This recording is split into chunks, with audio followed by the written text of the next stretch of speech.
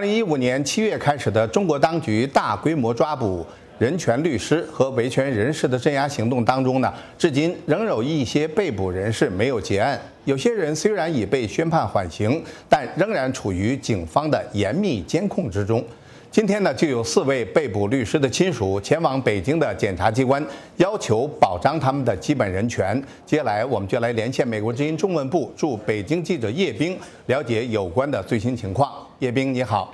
你好，马军。行，你先来介绍一下这四位律师亲属的具体情况，他们的诉求是什么？好的，呃，今天啊，李和平律师的太太王俏玲，王全章律师的太太李文足，呃，谢艳义律师的太太袁珊珊，还有谢阳律师的太太陈桂修教授，呃，由令其磊。呃，于文生等三位代理律师陪同呢，到北京的这个最高人民检察院去讨说法。呃，在押的四名律师呢，都是以颠覆罪或者是煽颠罪被捕的。那么，代表王全章的于文生律师呢，今天在接受我的采访的时候说呢，这些律师被抓了一年多了，既没有见律师，也没有见家属。也没有相关的消息，而且家属呢，在这期间遭受了各种打压，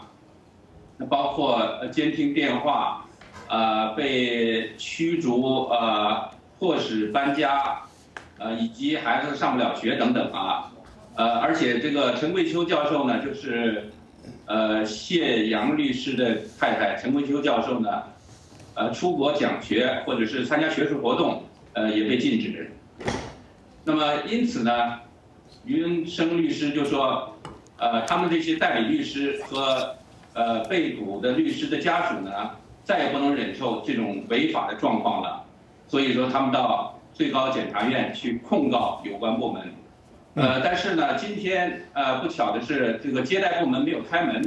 所以他们计划明天再去保审。好的，请你介绍一下。在七零九案件当中，到目前为止已经有哪些人遭到了审判，哪些人没有遭到审判？他们的现状如何？好的，那么今年七月啊，呃，有四名呃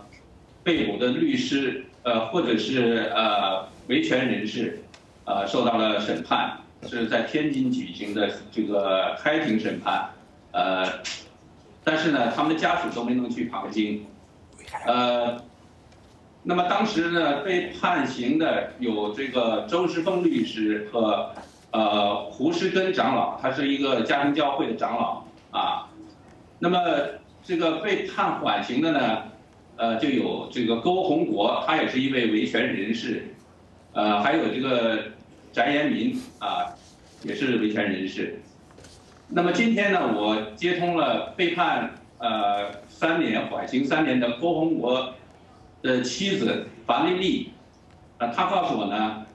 她现在还在被监控当中，她跟郭洪国呢一起在天津，呃，都受到严密的监控。她说她不方便讲很多，呃，我问她什么时候才能够呃放回家呢？她说大概得过了十一的长假才能回到北京的家中。那么不久前呢，我跟也是判三年。缓刑四年的翟延民的太太呢，这个通了话，啊，他太太叫刘二敏，呃，那么刘二敏呢说，呃，翟延民当时也还也是没有回家，不过今天于文生律师告诉我呢，他说有人最近看到了翟延民，但是详情不了解。嗯，呃，跟七零九案相关的任全牛律师呢，他一度是，呃，李和平律师的助理。呃，赵薇的代理律师，那么他呢，因为这个所谓的是在网上造谣，那么被捕，呃，后来呢，据说是这个取保候审，但是呢，呃，当时是这个所说的是取保候审呢，是在八月份，但是到了九月中旬，他太太在网上呃发表呃这个呃一段呃留言说，呃，到现在，这个他。还是没有跟任任全牛呢团聚。他说当时说是取保候审的时候呢，警察陪同任全牛回了家，但是拿了几件衣服就走了，说是去旅游去了。嗯，